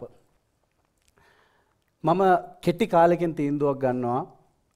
මම දන්නවා මගේ තාත්තා දැන් මට දඬුවම් දෙයි අම්මා ඉස්සරහා මේක කියයි නංගි ඉස්සරහා මේක කියයි මට ඉන්න බෑ එහෙම වුණොත් අහුවෙන ඇඳුම් ටිකක් අරගෙන මම බහිනවා ගෙදරින් එළියට. මේක තමයි මම පසු කාලෙක මනෝවිද්‍යාව ඉගෙන ගන්නවා. මේක තමයි අවුරුදු 18 19 17 දරුවෙකුගේ මානසිකත්වය. ඔවුන් වැරදි නෑ. ඒක තමයි ඒ වෙලාවේ හැටි ස්වභාවය. මම ගෙදරට ඇතුල් වෙනවා. ඔබ විශ්වාස කරන්න ගෙදර කිසිම අස්වාභාවික බවක් නෑ. අම්ම ඇවිල්ල හිටිය නංගි ඇවිල්ල හිටිය. තාත්තා නැවතත් ඒ මෙට්ටය ගෙනල්ලා ඇඳට දැම්ම. කිසිම ප්‍රශ්නයක් නෑ. ඔක්කොම හොඳින් තිබුණ. අම්ම ඇවිල්ල ඇහවා කෑම කෑවද කියලා? හවසත ඒක හම්බුණා මට දැන් ඒක ඊට වඩා අමාරුයි. මේ නඩුව විභාග වෙන්නේ නෑ. මට දැන් ඊට වඩා අමාරුයි. ම වෙනදට ටීවී බලන්ඩාව ගෙදර කට්ටියත් එක්ක අපි හැමෝම එකට සාලේ ඉඳගෙන ටීව එක බැලුව. නමුත් එදා මං ආවෙනෑ එදාමන් කාම්බරටලා හිට කොහෙද? මට වැරදුනාද? මේක යට තිබුණේ නැද්ද? තාත්තට මේක අහුනේ නැද්ද? නමුත් මං මගේ හිත රවට්ට ගන්න ම මගේ ගෙදර සිවිලි මූට නැගල බැලුව. බැරි වෙලා කරම සිවිලි මූටවත් මේක දැම්මද කියලා. නෑ. ඒක එහෙමුණේ නෑ. ඔහොම තිබුණා. ඊට හරියටම මට මං හරි අපහසුවෙන් මේ දවස් කීපයක් ගත කළා. ඊට හරියටම සතියකට විතර පස්සේ මගේ නමට ලොකු දිග ලියුම් කමර කවර එක ලියවමක් හම්බුණා ඒ ආවේ තැපෑලින්. ඒ ලියුම ලොකු ෆුල්ස් කැප් පිටු හතරක් ලියල තිබුණා. ඒක අත්තකුරු මට හොඳට හොරුයි. ඒක අත්තකුරු ලියල තිබුණේ මගේ තාත්තා. ඒක ලියල තිබුණා රත්තරං පුතේ කියලා එක ලියල තිබුණා. ඒ සමස්ත ලියවම මට මතකනෑ නමුත් ලියවම තවම් අයගාව තියෙනවා. ඒක තියෙනවා ඔයාව ඉස්පිරිතාලෙන් අරගෙන එනකොට මට පනිවිඩේ ලැබෙනකොට ඉස්පිරිතාලයෙන් පිරිමි දරුවෙක් හම්බ වනේ කියලා මට හරි ආඩම්බරයක් දැනුණා මගේ නමේ අග කොට සොයාට එකතු කරන්න පුළුවක් කියල. ඊට පස්සේ මං ඔයා ස්කෝල එක්කරගෙන යනකොට පලවෙනි දවසේ ඔය මාව දාලා යන්න බෑ කියනකොට මට වගේ ආදරයක් ඇති වුණා. මංගාව දහම් පාසලට බාර දෙනකොට මට මෙහෙම ආදරයක් ඇති වුණා. ඒත් ඔය බයවෙන් දෙපා මේක අම්මවත් නංගිවත් දන්නේ නෑ. මේක දන්නේ ඔයයි මයි විතරයි. ගෙදර පිටිපස්සේ කොස් ගහළඟ දොලට බහින තැන පුච්චල දාලා තියෙන්නේ ඒ ටික. හැබැයි මේක පළමු සහ අවසාන අවස්ථාව විය යුතුයි. හේතුව ඔයාට නංගි කෙනෙක් ඉන්න නිසා. මම ජීවිතේ පළවෙන වතාවට කළමනා කරන ඉගෙන ගන්නවා. මං ජීවිතේ පළවන වතාවට නායකත්වය ඉගෙන ගන්නවා. තාත්තකින්. මම විශ්වවිද්‍යාල මූලික උපාදයට අමතරව පශ්චාත් උපාදි දෙකක් මට තියෙනවා. ඒ කිසිම මහාචාර්වරයකුට මට මේක කියල දෙන්න බැරි වුණා. මෙන්න මේකට තමයි නායකත්වය උගන්නනවා කියලා කියන්න. අද මගේ තාත්තර වය සවුරුදු හැත්ත පහයි. ඔහු මේක බලයි. එනිසා මවට යෝජනා කරනවා හම්ම කෙරෙක් කියල කියන්නේ තාත්ත කෙනෙක් කියල කියන්නේ උපැන්ට සහතිකයේ නන් දෙකක් විතරක් නෙවෙයි. මේ පුංචි දරු දවසක ඔබ ගැන එහෙම කතා කරන්න ටෝනි. එනිසා ඔහු සහ මං අම්ම ගැන අද කතා කරන්න මොකද ම අම්ම ගැන කතා කලතින ඇති තර නමුත් මේ මුළු ජීවිතයටම ඔහු ගැන කතා කරන පලවෙනි මතාවයි අවසාන මතාවයි මෙහෙම දෙයක් මගේ තාත්තයි මායතර මීට අවුරදු විසි පහකට කලින් වුණනා කියල මගේ අම්මයි මගේ නංගී පවා දැනගන්න අද. අද වෙන කිසි කෙනෙක් දන්නේ නෑ ඔහුට ගෞරවයක් පිණිස මම මේක කියන්නේ ඔහු ඔහුවත් දන්නේ නෑ ඔහු පිළිබඳව මගේ හිතේ ඒ තරම් විශාල තැනක් තියෙනවා කියල. නිසා ඒ කතා කරපු තාත්තලා මේක හොඳින් මතක තියාගන්න. මේ මේ දරුවන්ට දක්වන ආදරයේ ආයෝජනය ඔබට ලැබෙන්න තවවුරුදු විසි පාකි නැත්තං තිහකින් තමයි ඒක ඔබට ලැබෙන්නේ. එච්චරයි මහසයි මට සිින්දුව දෙන්න. අපි ආරාධනා කරමු ඒ සංවේදී අත්දැකීමත් එක්ක මුහු කරපු ගීතය. දොයි දොයි දොයි දොය පුතා මේක මතක තියාගන්න. අපි වැඩිපුර නැලැව්වේ අම්මලා නෙවෙයි.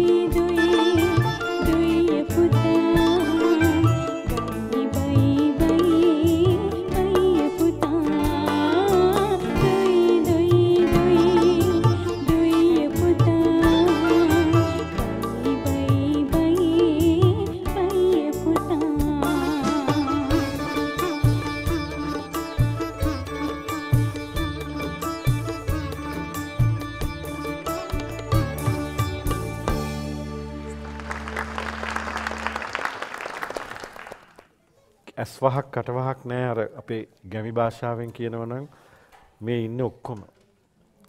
චමිලත් ගීතය ගායනා කළන මේ ගීතය වැක්කෙරුවා.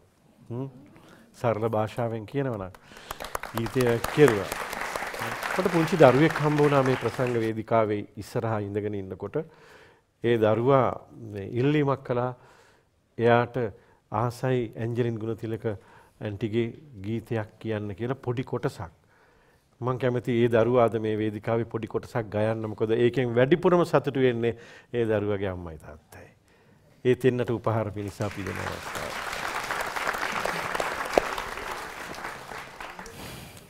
පුතාගේ නම මොකද්ද? පුතාගේ නම? මගේ නම වංචිකා සමලි විජේරත්න. කොහෙද ඉන්නේ පදිංචිය? මහරගම ඇරෙව්වල. ඇරවුවල. තාත්තගේ නම මොකද්ද? කේපී විජේරත්න. අම්මා? මහවැලි අබේරත්න. අම්මා ගංගාවක්. නේද? හරි. පුතා අද අර ගායනා කරන්න කැමති ගීතයක කොටසක් කියන්න.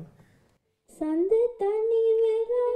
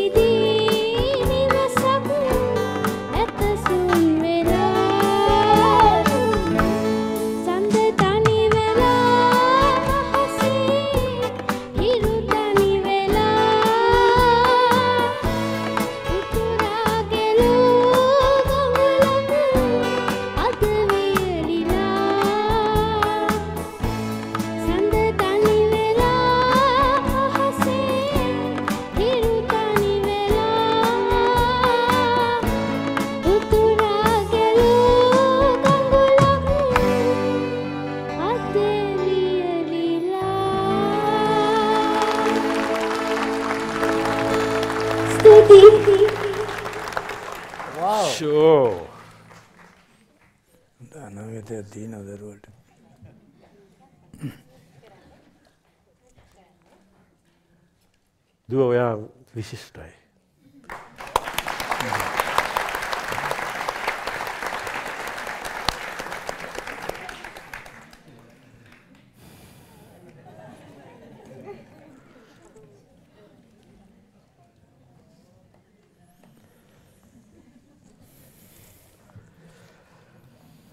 මුළු වැඩසටහනත් හරි ඒ- ඒකත් හරි නැද්ද?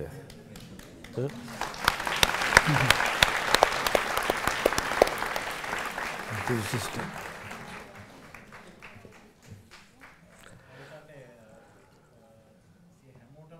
මයික්‍රෆෝනය දෙන්න. මම හිතන්නේ ඔබතුමාට විශේෂ ස්තුතියක් කරන්න අවශ්‍ය වෙනවා.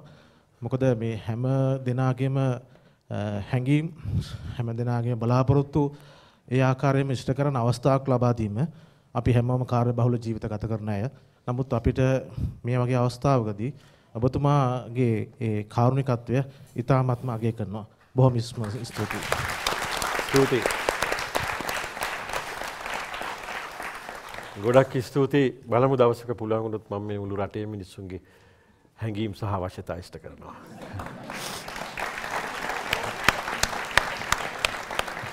මහත්තයා මේ වැඩසටහන එක වතාවක් විතරක් ප්‍රචාරය කරන්න එපා. මොකද හැම තැන්වල විදුලි ආලෝකය කප්පාදු කරන නිසා දෙවරක් ප්‍රචාරණය කරන්න කියමින් ම ඔබට දීර්ඝවස නිරෝගී සුවය පතන. මහේශ්මාමේ මාත් පුංචි රංගන ශිල්පිනයක්. ඔව් පුතා. අම්, අපි හැමදාම රෑට සිහිනය කිරෑ බලනවා. අ, මම මහිෂ්මාමටත් ගොඩක් ස්තුති කරනවා. සිහිනය කිරෑ දිගටම කරන්න යන්න කියලා. අ, ඉතින් ගොඩක් ස්තුතියි. මහිස් මම පැරිසින්දලාවේ ඔව්. අපි පැරිසිටියත් අපි සීනි කර හැමදාම බලනවා. හැමදාම කැනෙ ඒ වෙලාවට නෙවී. YouTube එකෙන් බලනවා. මට සන්තෝසයි ඔය මේ අපේ විචාරක මහත්තයත් මහේස් මහත්තයත් මේ චිත්‍රපට ගීත එකතු කරපු මහත්තයත්. ඒ කාලේ සත පනස් පහ ගැලරි චිත්‍රපටි බලන අපිත් එක චිත්‍රපටය දහතුන් වතා බලලා තියෙනවා. ඉතින් ඇත්තෙම්ම මේ වගේ රසාස්වාදයක් ලබාගත සීනය කරයි. දැන් මං කැමති කාලය වේගෙන් යන හින්දා අවසාන වශයෙන් අර ගීතය ගායනා කරපු දරුවගේ අම්මයි තාත්තයි දෙන්න ඉන්නවද? ඔව් ඒ අම්මයි තාත්තයි දෙන්නයි වචන දෙකක් කියන්නේ. මම මගේ දරුවා ගැන මේ ආඩම්බර වෙනවා. එයා හැමදාම සිහිනය කිරා ප්‍රෝග්‍රෑම් එක බලනවා. මටත් එයා තමයි මේ කියන්නේ අම්මේ අන්නරක පටන් ගන්නවා. මේ ඉක්මනට එන්න බලන්න කියලා. එයා දැන් කියනවා එයාට කතා කරන්න ඕලු. අංකල්ට ස්තුති වෙන්න මේ chance එක දුන්නට අම්මේ මම අංකල්ට කතා කරන්න කියලා.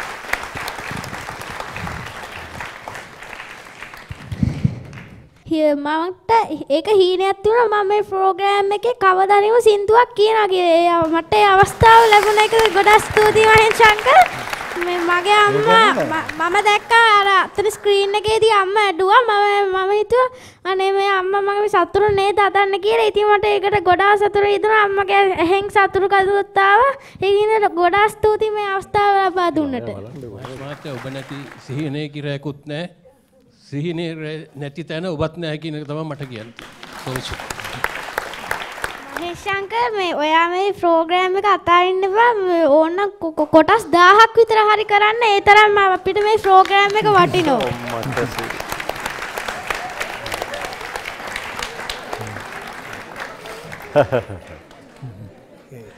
පුතා ඔයාගේ ගැන අපි දෙන්න කතා කළා මෙතන ඉඳලා. එහෙම දරුව බිහි වෙනවා ලක්ෂ 10කට වගේ කෙනෙක්. ඒ ගැන ඊටා කෙටියෙන් මට වඩා හොඳට දර්ශන කියයි කියලා අපි ඊළඟ සින්දුවට යනවා. තමුන්ගේ ලේවලින් හැදිච්ච නැති දරුවෙක් තමුන්ගේ කුසෙන් බිහිකරපු නැති දරුවෙක් පොෆෝම් කරනකොට ඇස්වලින් කඳුළු ගන්න පුළුවන් නම් මිනිසුන් අතර මිනිස්සු අන්න එච්චරයි. මෙන්න මේ හැකියාව අපි හරියටම අඳුනගෙන ආයෝජනය කළොත් මේ දරුවා ලංකාව දික්විජය කරනවා ගැන ලංකාව ලෝකෙට ගෙනියනවා. එනිසා මං දෙමෝපියන්ට අමට දාතර විශේෂම කියන්න ඕනේ දැන් ඒකට ෆැසිලිටේට් කරන්න. ඕකට කරන්න තව එකක් තියෙනවා අර අපිට පුළුවන් අර කරියර් ටෙස්ට් එකක් කරන්න. ඒක ටෙස්ට් එකක් කරලා බලපුවම අපිට හරියටම අහුවෙනවා මෙයා කොයි පැත්තෙන්ද perform කරන්න කියලා. එතකොට ඒකට අපිට අවශ්‍ය කරන සහයෝගය දෙන්න පුළුවන්. අපි ඉක්මනින් යනවා අපේ ඊළඟ ගීතයට. මේකත් මිහිරි තනුවක් තියෙන සිරුරටම සම්පූර්ණ මුළු සිරුරටම දැනෙන ගීතයක්. හ්ම්. තරුණ නෙත් ජය මංගලේ කියන්න. ඒක මයිස්මල්ලි මට මේ ගැන ටිකක් කත- කතරන්න තියෙනවා චිත්‍රපටිය පොඩි කෙටිය එක. චිත්‍රපටිය ඇතුල්වීම තහනම් ඇතුල්වීම තහනම් මේ සන්ධ්‍යා කුමාරතම ප්‍රධාන චරිතය රඟපෑවේ සන්ධ්‍යා කුමාරට අවශ්‍ය වුණා එච්.ආර්. ජෝතිපාල එයා ප්‍රියකරපු ගායකයා එයත් එක ප්‍රධාන චරිතය රඟපාන්න. එච්.ආර්. ජෝතිපාල පිනිබිඳු චිත්‍රපටයෙන් සිනමාවට ආවේ දෙවෙනි චිත්‍රපටය තමයි සන්ධ්‍යා කුමාරිත් එක්ක රඟපාපු ඇතුල්වීම තහනම්. තුන්වෙනි චිත්‍රපටය තමයි ඇමතිකම. මේ චිත්‍රපට තුනේම සන්ධ්‍යා කුමාරට අවශ්‍ය වුණේ එච්.ආර්. ජෝතිපාල. ඉතින් ඒක විශේෂත්වයක්. තව විශේෂත්වයක් තියෙනවා. මේ චිත්‍රපටිය තිරගත්ත වෙනකොට 1966 මැයි මාසේ දෙවෙනිදා මේ වෙසක් සමය උදා වෙලා තියෙන්නේ. දැන් මේක අපි ප්‍රේක්ෂකයාට දැනුවත් කරන්න ඕනේ. ඒ මේක ඔයගොල්ලෝ සවත් සාවධානව අහන ගමන් වටහා ගන්න. දැන් එල්පිස්ටන් එකේ ඇතුළේම තානම් පෙන්වීම පළවෙනි දවසේ ආරම්භ කරපු දා ඉඳලා මාස ගාණක් පෙන්නකොට පළවෙනි රීල් එක 10 තියේ පටන් ගත්තාම 10ට 10 තියට රොක්ෂි එකට ගේනවා ඒ ෆස්ට් රීල් එක. ගැන සටස විස්කයක් ඒ කාලේ තිබුණා. ගැන උණුසුම වැඩි රීල්ස් ගාන ටියක් ප්‍රමාද අඩුයි නිසා සිනමාලවල අර ඒ වගේ තිබුණා. දැන් අද කාලේ නම් යන්න බෑ මේ ට්‍රැෆික් දැන් පෙට්‍රල් ට්‍රැෆික් එකට ප්‍රශ්නනේ. මේ මිනිස්සු කෑ ගහයි. 10ට පෙන්නපු එක ඒ පළවෙනි රීල් එක රොක්ෂිකට එනවා 10 තියට. ඒතකොට 10 තියක 11ට එනවා. සැටර් ස්විච් තිබිලා තියෙනවා ඒ යුගේ. ඉක්මට රීස් ටික ගේනවා. ඒ තරම් ප්‍රබලයි ඇතුළෙම තානම් චිත්‍ර ගීත ටික සියල්ලම ජනප්‍රියයි. ඒ ජේතු සොයිස තමයි ගීත සියල්ලම රචනා කළේ සමර ගීත කරුණාරත්න අබේසේකර. මේ ගීතය නම් කරුණාරත්න අබේසේකර රචනා කළේ පීඑල් සෝමපාල තමයි සංගීතවත් කළේ. අපි පොඩ්ඩක් පෙන්නමු එන මේ එච්.ආර්. ජෝතිපාලගේ දැන් සමරකය දැකලා නැනේ තාරුණ්‍යේ මේ තාරුණ්‍යේ එච්.ආර්. ජෝතිපාල. කියන අවුරුදු 20 ගණන් වල වයසක් මේ. හ්ම්. කියන අපේ ප්‍රබල ගායකයා.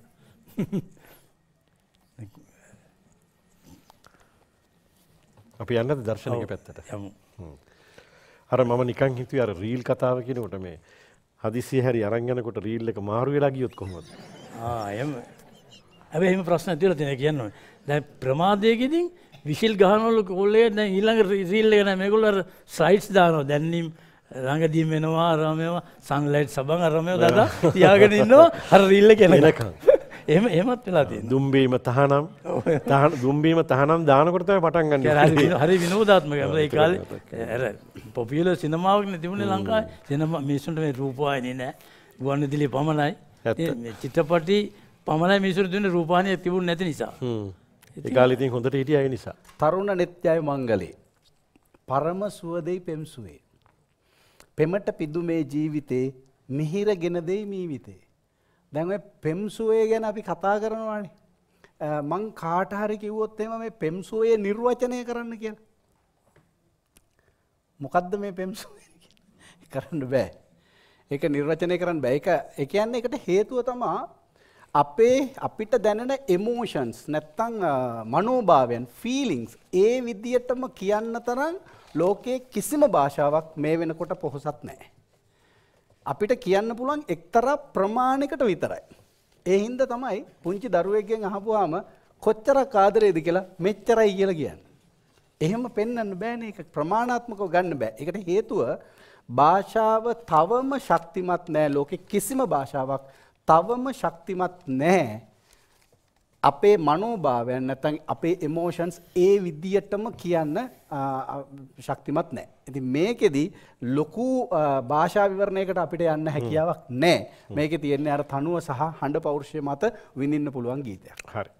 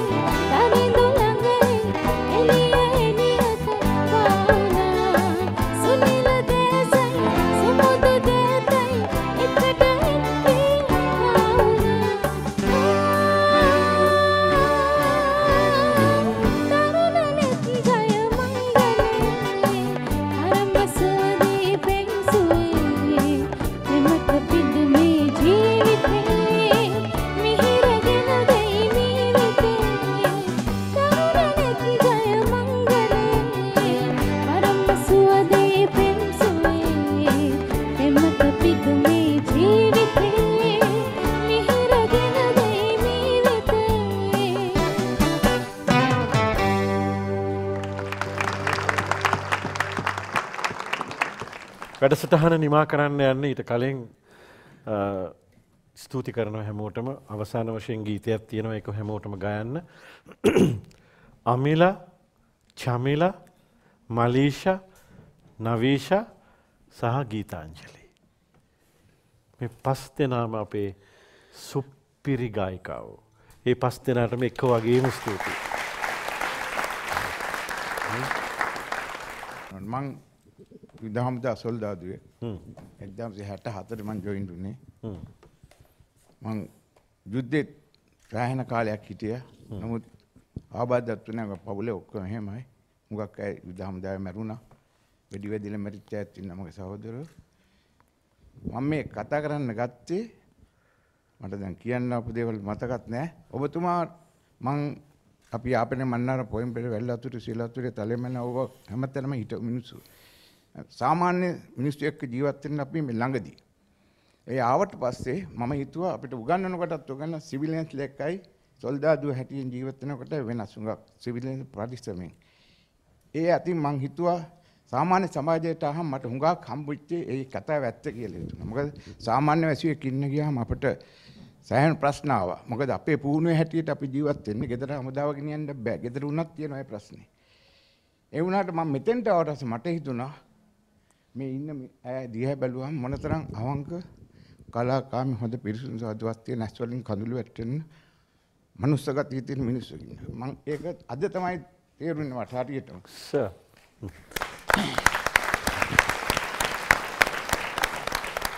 මේ අපේ මහේෂ් මහත්තයාගේ සංවේදී බව තුලම තමයි අපි සංවේදී වෙන්නේ. ඒ නිසා අසංවේදී ලෝකයක සංවේදී මිනිසුන් තනන මේ වැඩසටහන ඉතාමත්ම ශ්‍රේෂ්ඨයි. දැන් අපි නිමා කරමු. ඒ වගේම අද දවසේ ගීත විචාරය සඳහා අපිත් එක්ක එකතු වෙච්ච දර්ශන වර්ණසේකර මගේ හිත මිත්‍රයා, ඒ වගේම විචාරකයා, මාර්ගෝපදේශකයා, උපදේශන සේවා සපයන්න මම ස්තුතිවන්ත වෙනවා ඔබේ අත්පොළ සන්නාදය දෙන්න එතුමාට.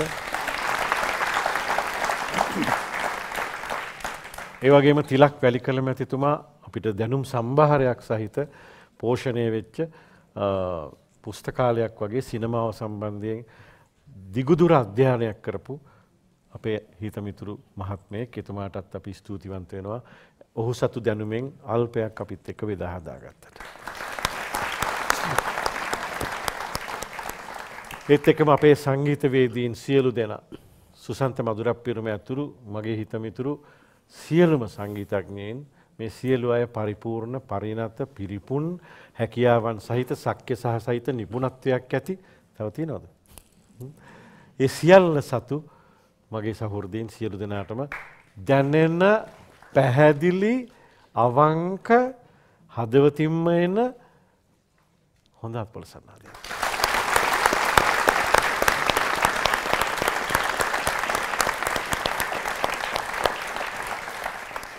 වැඩසටහන නිමා කරනවා. අවසාන ගීතය ගායනා කරන්න මුලින්ම මං ආරාධනා කරනවා මලිෂටයි නවීෂටයි ඊට පස්සේ මං ආරාධනා කරනවා ඒගොල්ලෝ දන්නේ ඒක. මගේ ජේෂ්ඨ ගායිකාවන් තිදෙනාට ඒ තිදෙනත් ඇවිත් ඒ ගීතයට එකතු වෙයි කියලා මගේ හිතේ පුංචි බලාපොරොත්තුවක් තියෙනවා. ඒ බලාපොරොත්තුව ඒ විදිහට ඉෂ්ට වුණොත් ඒගොල්ලෝ බලාපොරොත්තු නොවෙච්ච දෙයක් මන් දෙනවා ඒගොල්ලන්ට.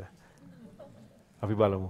එහෙනම් අපි ඔබෙන් සමගෙන යනවා. සියලු දෙනාම පරිස්සමෙන් ගෙදර යන්න. ඉවසීමෙන් ගෙදර යන්න කල්පනාවෙන් ජීවත් වෙන්න නිරෝගීව ඉන්න හොඳට hina වෙන්න අඬන තැන්වල අඬන්න ඔබ සුරක්ෂිතයි. ආයිබෝවන්. සුබ රාත්‍රියක්.